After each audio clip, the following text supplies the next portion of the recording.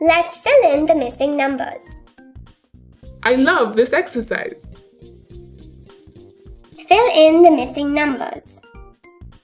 8 multiplied by a number is 16. What is the missing number?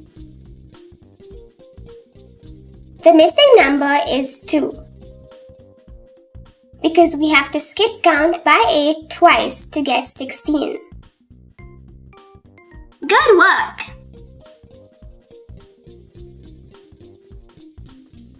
Eight multiplied by a number is 40. Thank you for watching. Enroll now.